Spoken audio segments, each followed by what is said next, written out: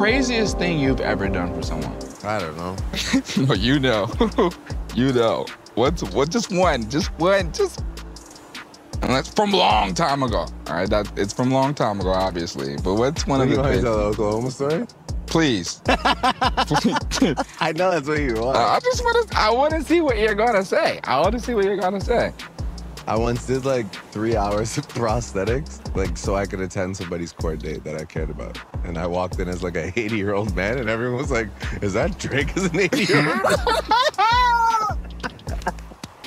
they were de- it definitely was like I'm not like yo. I had one of the like best Hollywood makeup artists in the world, and they were still like, "That's definitely Drake as an 80 Crazy. That's it did crazy. not work.